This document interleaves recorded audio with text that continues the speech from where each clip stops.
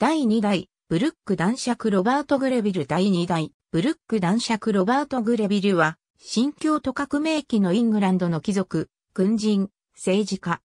ピューリタン貴族であり、内戦前から政府の宗教政策を批判、内戦では議会派に入り応答派と交戦した。いとこの初代ブルック男爵ファルク・グレビルに養子に迎えられ、イングランド王チャールズ一世に仕えた。しかし同じピューリタン貴族のウォリック伯ロバート・リッチ、聖イコールシール子爵ウィリアム・ファインズや、ピューリタンジェントリのジョン・ピム、オリバー・シンジョンらが属するプロビデンス島会社の設立に加わり、聖イコールシール子爵と共同で、コネチカット植民事業に着手、友人や部下の軍人をプロビデンシア島へ派遣して、島の作物栽培や軍事支配に関わっている。また1638年に、ジョン・ハムデンとシンジョンが関与した船舶税反対運動にも加担したり、1642年3月にバプテスト信者ウィリアム・キッフィンの巡回裁判に介入して投獄されていたキッフィンを釈放、逆に判事をロンドン島投獄に追いやるなど、反国王派として活動した。長期議会では、貴族院議員として出席したが、聖イコールシール子爵ともども急進的議員として、エドワード・ハイドにマークされていた。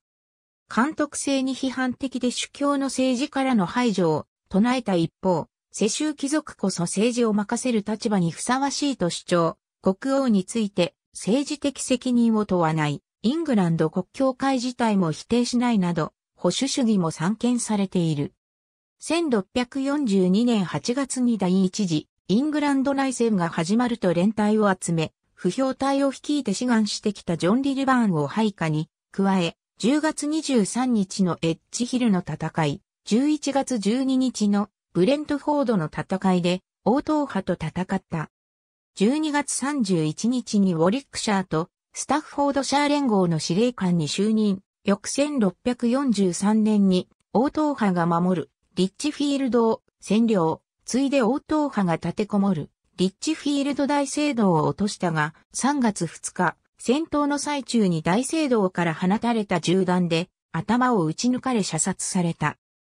ブルック男爵の戦死から2日後の3月4日に応答派は降伏したが、イングランド中部に軍事的空白が生じたため急遽議会はグロビーノ・グレー卿、トマス・グレーをミッドランド司令官に任命、続いて東部連合司令官マンチェスター伯爵、エドワード・モンタギューをグレー卿に代わるミッドランド司令官に任じ、マンチェスター伯は、部下のオリバー・クロムウェルと共に、ミッドランドと東部の安全確保に奔走した。ベッドフォード伯爵、フランシス・ラッセルの娘キャサリンと結婚、5人の息子を設けた。ブルック男爵の死後は3人の息子、フランシス・グレビル、ロバート・グレビル、ファルク・グレビルがそれぞれ爵位を継承した。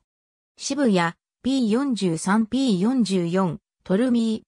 P94、ウェッジウッド、P14、岩井、P74、P75、P97、大西、P69、P71、P80、P81。